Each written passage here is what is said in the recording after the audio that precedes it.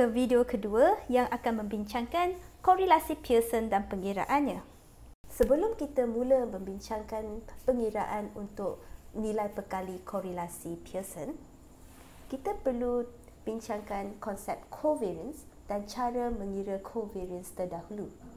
Ini adalah kerana nilai nilai covariance yang kita kira itu perlu untuk mengira korelasi Pearson. Covariance adalah suatu statistik yang melambangkan tahap dua pemboleh ubah berubah bersama. Dan rumus untuk mengira covariance adalah seperti berikut. Covariance adalah jumlah hasil darab X tolak min X darab dengan Y tolak min Y bahagi dengan N tolak 1. Misal kata, anda ada lima orang pelajar dan anda telah takdirkan satu kuis matematik kepada pelajar anda. Markah kelima-lima pelajar anda adalah seperti berikut. Masa yang sama, anda juga telah merekodkan jumlah jam yang kelima-lima orang pelajar ini guna untuk ulang kaji bagi kuis tersebut. Dan apa yang anda dapati adalah seperti berikut. Mari kita cuba plotkan uh, data ini kepada satu graf yang akan melambangkan kedua-dua pemboleh ubah markah dan jam ulang kaji. Mungkin anda tertanya, nak plotkan markah pada paksi X atau Y? Nak plotkan jam ulang kaji pada paksi X atau Y? Ini bergantung kepada persoalan kajian. Jadi dalam konteks ini kita ingin tahu um, hubungan antara jam ulang kaji dengan markah. Maka markah adalah pemboleh ubah bersandar kita dan jam ulang kaji adalah pemboleh ubah tidak bersandar kita.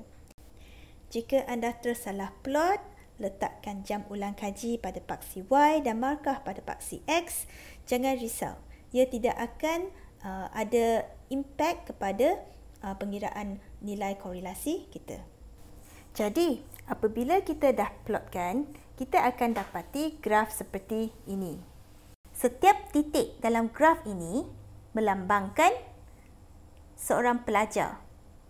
Jam ulang kaji 2 diplotkan mendapat markah 52. Maka titik ini melambangkan pelajar yang pertama, untuk titik ini, jam ulang kaji dia 3 dan markah ujian dia 65.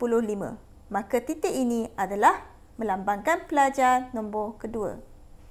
Dan seterusnya. Untuk kira covariance, kita perlu mengira min taburan markah dan jam ulang kaji terdahulu. Saya telah kira dan min untuk taburan markah adalah 69.6 dan min untuk jam ulang kaji adalah 5.4. Seterusnya, mari kita plotkan min X dan min Y dalam graf yang kita dah lukis ini dengan menggunakan satu garisan lurus melintang dan menegak bagi melambangkan min X dan min Y. Jadi min X adalah 4. Oh, sorry. Min X adalah 5.4. Seperti berikut. Min Y adalah 69.6 dan berada di sini. Mari kita lihat kepada uh, formula untuk covariance. Covariance bersamaan dengan jumlah X tolak min X darab dengan Y tolak min Y bahagi dengan N tolak 1. Mari kita lihat kepada pelajar yang pertama. Jadi kita dah tahu titik pertama ini, titik kat bawah sini adalah melambangkan pelajar pertama. Jadi kalau kita nak lihat X tolak min X dia, X dia 2, tolak min X dia pada min X dia kat sini. Min Y kat sini. Jadi min X adalah 5.4. 2 tolak 5.4 adalah negatif. Okey. Kalau kita lihat pada X, now kita lihat pada Y. Y adalah 52 tolak Y adalah 7, uh, 69.6. Jadi 50 tolak 69.6 juga adalah negatif. Kalau kita kalau kita darab x tolak min x iaitu negatif 3.4 darab dengan y tolak min y iaitu negatif 17.6 kita akan dapat satu angka yang positif. Dan ini juga akan berlaku bagi set data ini. Untuk set data bagi pelajar kedua juga sama di mana x tolak min x dia adalah negatif dan y tolak min y dia juga adalah negatif. Jadi secara kesimpulan kita boleh kata blok ini jika data data jatuh pada blok sini akan menyumbang kepada nilai covariance yang positif. Mari kita lihat kepada blok kedua iaitu blok ini di mana kita ada tiga data point yang berada di uh, box ini. So, kita lihat kepada pelajar ketiga. Pelajar ketiga, kita ambil X dia adalah um, 6 tolak dengan 5.6. Jadi, 6 tolak 5.6 adalah positif. Y dia 70. 70 tolak 69.6 juga adalah positif. Kalau pelajar kelima, mari kita lihat kepada pelajar kelima iaitu pelajar ini. X dia adalah pada 9. 9 tolak min X 5.4 adalah positif. Lepas tu, min Y dia adalah 85, tolak dengan, eh sorry, Y dia adalah 85, tolak dengan min Y 69.6 juga adalah positif. Jadi, kita boleh buat kesimpulan bahawa untuk data yang jatuh dalam petak ini juga akan memberikan Uh, dan menyumbangkan kepada nilai covariance yang positif. Mari kita cuba untuk mengira covariance dengan contoh yang sama iaitu hubungan antara jam ulang kaji dan markah kuis pelajar. Untuk data point pertama, X tolak min X adalah negatif 3.4 dan Y tolak min Y iaitu 52 tolak 69.6 adalah negatif 17.6. Hasil darab X tolak min X dengan Y tolak min Y iaitu negatif 3.4 darab dengan negatif 17.6 akan bagi kita 59.84. Hasil darab adalah positif kerana negatif darab negatif adalah positif. Jadi, saya telah uh, lengkapkan jadual ini dan hasil jumlah X tolak min X darab dengan Y tolak min Y adalah 136.80. Jadi mari kita lihat semula kepada formula covariance. Covariance adalah bersamaan dengan jumlah X tolak min X darab dengan Y tolak min Y bahagi dengan N tolak 1. Jadi, dalam uh, contoh kita ini, covariance adalah 136.8 bahagi dengan 5 tolak 1 iaitu bahagi dengan 4. Jadi, covariance adalah 34.2. Dan kita boleh dapati bahawa nilai covariance bagi contoh ini adalah nilai yang positif. Mari kita lihat kepada contoh yang kedua. Saya masih ada markah pelajar yang sama. Tetapi sekarang saya telah ukur masa tonton TV mereka sebelum ujian.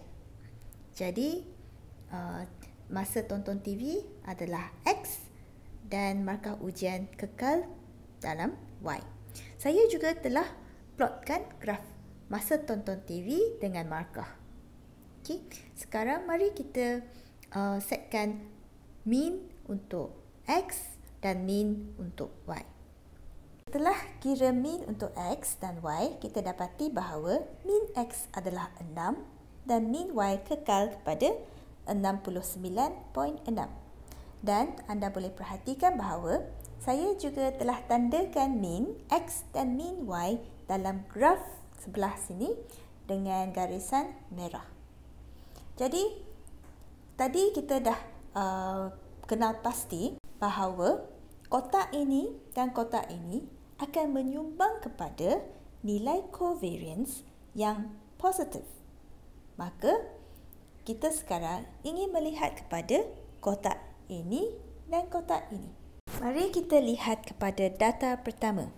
Pelajar pertama ini telah tonton TV selama 9 jam sebelum ujian dan mendapat markah 52 dalam ujian tersebut. Jadi, X tolak min X iaitu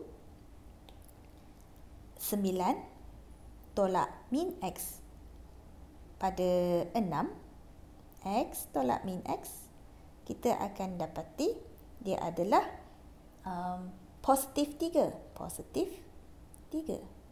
Dan Y tolak min Y, Y tolak min Y adalah um, 52 tolak 69.6 adalah negatif 17.6. Jadi, titik ini adalah negatif kerana positif 3 darab dengan negatif 17.6 akan bagi kita satu nilai yang negatif. Okey. Jadi perkara yang sama juga boleh diperhatikan untuk semua titik dalam kotak yang sama. Dalam kotak ini.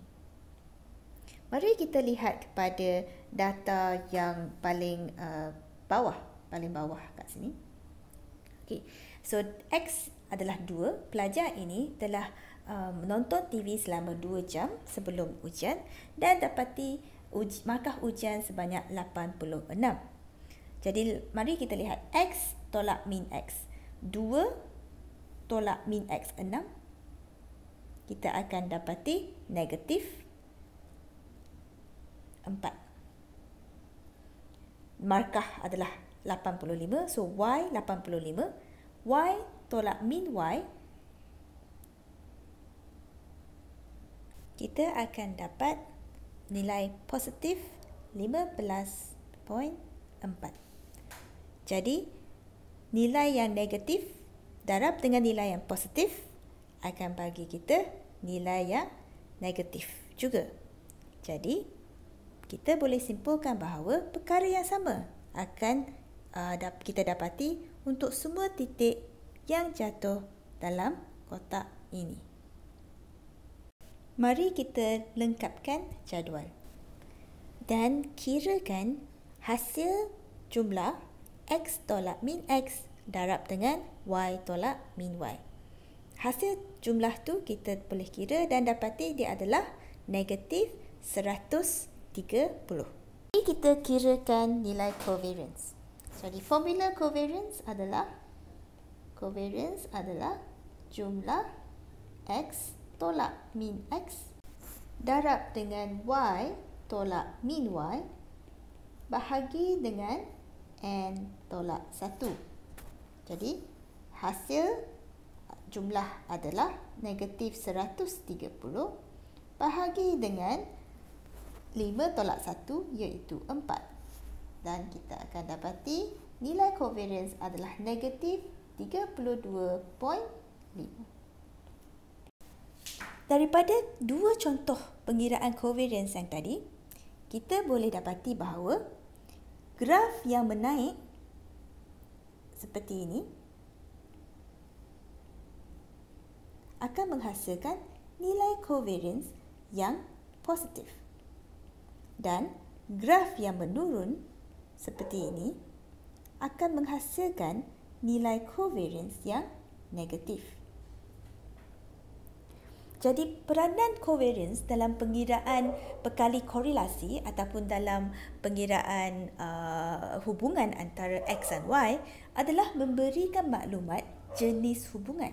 Adakah hubungan antara X dan Y itu suatu hubungan yang positif semakin meningkat X, semakin meningkat Y ataupun ia adalah suatu uh, hubungan yang negatif semakin meningkat X, semakin menurun Y. Covariance, kelemahan covariance adalah dia tidak boleh memberitahu kita kekuatan hubungan antara X dan Y. Jika kita nak tahu kekuatan hubungan antara X dan Y, kita perlu mengira perkali korelasi Pearson. Jadi, untuk recap, covariance memberikan kita maklumat jenis hubungan antara X dan Y. Jika covariance adalah positif, maksudnya hubungan antara X dan Y adalah positif dan jika covariance negatif, hubungan antara X dan Y negatif. Jika kita ingin tahu kekuatan hubungan tersebut, kita perlu uh, kira perkali korelasi Pearson. Mari kita lihat kepada uh, rumus untuk perkali korelasi Pearson. Simbol perkali korelasi Pearson adalah R sama dengan covariance, nilai covariance antara X dan Y bahagi dengan sisihan piawai X darab dengan sisihan piawai Y. Jadi, dalam rumus untuk perkali korelasi Pearson, kita menggunakan nilai covariance. Peranan covariance kat sini adalah apa? Peranan covariance kat sini adalah untuk memberi tahu kita jenis hubungan. Adakah dia positif atau negatif.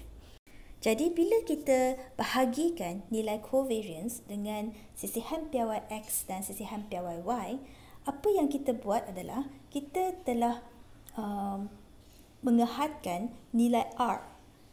So nilai R sekarang hanya dalam culat negatif 1 hingga positif 1. Jadi dengan culat ini kita boleh menginterpretasikan R uh, dari segi kekuatan hubungan tersebut. Mari kita cuba untuk kira perkali korelasi Pearson dengan gunakan formula uh, covariance. Saya nak gunakan pemboleh ubah yang sama iaitu masa ulang kaji dan markah pelajar. Tetapi sekarang saya nak gunakan nombor yang lebih kecil untuk markah untuk menyenangkan pengiraan.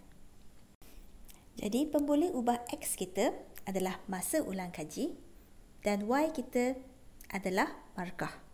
Sekarang kita perlukan maklumat untuk kirakan sisihan piawai X, sisihan piawai Y dan covariance.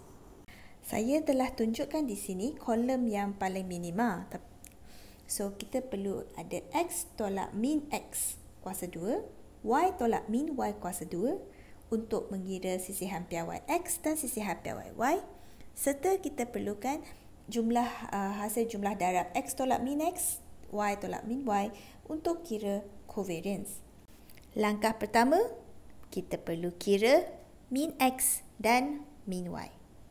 Kita dapati min X adalah 5.5 dan min Y adalah 2.7. Mari kita cuba untuk kira bagi data yang pertama. X adalah 5. 5 torak 5.5 adalah negatif 0.5. Kuasa 2 kan negatif 0.5, kita akan dapat 0.25. Y adalah 2. Y tolak 2.7 adalah negatif 0.7. Kuasa 2 kan negatif 0.7, kita akan dapat positif 0.44. Untuk kolom ini, kita nak uh, darabkan X tolak min X darab dengan Y tolak min Y. Jadi, negatif 0.5 darab dengan negatif 0.7. Kita akan dapat positif 0.33. Dan saya telah lengkapkan jadual. Jadi apa yang kita perlu untuk kira covariance? Kita perlu jumlah hasil jumlah uh, X tolak min X darab dengan Y tolak min Y iaitu 16. Sekarang kita dah ada semua maklumat untuk kira uh, perkali korelasi Pearson dengan menggunakan formula uh, covariance. Jadi kita first step kita perlu kira covariance dahulu. Covariance adalah samaan dengan jumlah X tolak min X darab Y tolak min Y bahagi dengan N tolak 1. Maka ia adalah 16 bahagi dengan 5. Kerana kita ada 6 orang sampel. Jadi 6 tolak 1 adalah 5. Dan kalau kita kira dia adalah bersamaan dengan 3.2. Seterusnya kita perlu kira sisihan piawai untuk X dan sisihan piawai untuk Y. Saya dah buat pengiraan di luar dan uh, didapati bahawa sisihan piawai untuk X adalah 2.17 dan sisihan piawai untuk Y adalah 1.51. Kalau anda dah lupa nak uh, bagaimana nak kira sisihan piawai, boleh rujuk balik kepada nota pada minggu sebelum ini. Jadi kita dah ada maklumat uh, lengkap bagi masukkan ke dalam rumus R.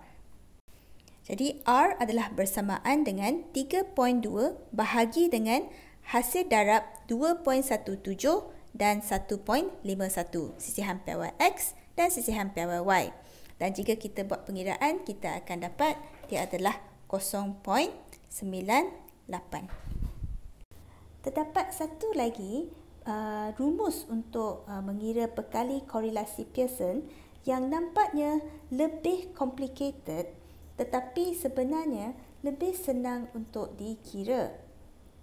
Ini adalah kerana rumus ini tidak perlu untuk mengira sisihan piawai untuk X dan sisihan piawai untuk Y.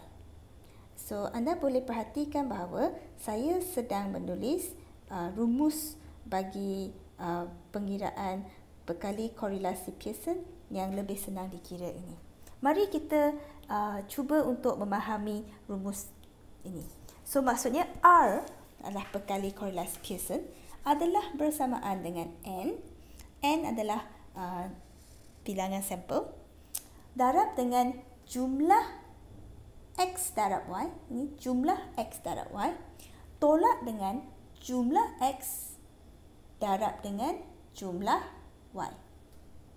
Bahagi, so di sini N sekali lagi, jumlah X kuasa 2. Jumlah X kuasa 2 adalah berbeza dengan jumlah X kuasa 2 kan. Yang dua ni berbeza. Okey? Bolehkah kita nak bezakan? Darab dengan hasil darab um, yang sama iaitu N darab dengan jumlah Y kuasa 2 tolak dengan jumlah Y kuasa 2 kat sini. So yang dua ni adalah berbeza. So apa uh, maklumat yang kita perlu bagi mengira uh, perkali korelasi Pearson dengan menggunakan rumus ini? So kita perlu maklumat satu iaitu kita perlu jumlah X darab Y. Kita perlu jumlah X. Kita perlu jumlah Y. Kita perlu jumlah X kuasa 2. Dan kita perlu jumlah Y kuasa 2. Jadi ini adalah sama dengan jumlah X. So, kita jumlah X kuasa 2 kan. Sama eh. 2 ni sama. Jumlah Y kuasa 2 kan. 2 perkara ini adalah sama. So, kita perlu 5 maklumat ini. Jadi, macam mana kita nak dapat 5 maklumat ini? Kita perlu kira dan dalam jadual. Jadi, maklumat yang ada pada jadual mesti ada X dan Y. Dan let's say kita letak X sebagai masa ulang kaji. Kita guna balik contoh yang sama masa ulang kaji dan Y sebagai markah. Markah ujian kita. Okey. Dan data untuk markah dan masa ulang kaji adalah seperti berikut. maklumat lain yang kita perlu adalah x darab y, x squared dan y squared. Jadi x darab y 5 darab 2 adalah 10. x squared 5 kuasa 2 adalah 25 dan y squared 2 kuasa 2 adalah 4. Mari kita lengkapkan yang lain. Lepas selepas kita melengkapkan jadual, maka kita boleh uh, jumlahkan setiap kolom untuk mendapatkan maklumat yang diperlukan untuk kita masukkan dalam rumus. Jadi, jumlah X adalah kita jumlahkan kolom X. So, jumlah kolom X adalah 33. Mari kita jumlahkan yang selainnya. Jumlah Y 16, jumlah X darab Y 104, jumlah x square adalah 205 dan jumlah y square adalah 54.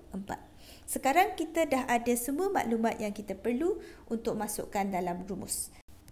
Jadi 33 adalah jumlah x. So ia adalah maklumat nombor 2 dalam rumus. 16 adalah jumlah y, maklumat yang ketiga. 104 adalah jumlah xy iaitu maklumat yang pertama. 205 adalah jumlah x squared iaitu maklumat keempat dan kita 54 adalah jumlah y squared iaitu maklumat yang ke-5. Jadi kita boleh ikut nombor ini dan masukkan dalam rumus yang kita dah tulis kat atas. Dan jika kita kira dengan betul, kita akan dapat R bersamaan dengan 0.98. Sekarang mari kita lihat bagaimana kita nak menjalankan satu ujian hipotesis dengan menggunakan uh, ujian korelasi Pearson. Masih ingat tak kepada uh, langkah-langkah uh, menjalankan satu ujian hipotesis? Nombor satu, tuliskan hipotesis, tetapkan alfa, lepas itu buat pengiraan, dapatkan nilai kritikal dan akhir sekali buat keputusan dan tulis kesimpulan. Mari kita mula dengan uh, menulis uh, hipotesis. Kita boleh tulis hipotesis null. Saya bagi contoh null hipotesis saja dan dalam perkataan tidak terdapat hubungan yang signifikan antara uh, masa ulang kaji dan markah pelajar. Yang kedua adalah tetapkan alfa. Alfa sama dengan 0.05. Yang ketiga, buat pengiraan. Kita dah buat pengiraan tadi, betul? Kita dah dapati bahawa R adalah bersamaan dengan 0.98. Sekarang kita perlu dapatkan nilai kritikal untuk um, mengetahui adakah uh, nilai R 0.98 ini uh, signifikan atau tidak. Langkah keempat pengujian hipotesis adalah untuk mengenal pasti nilai kritikal dahulu.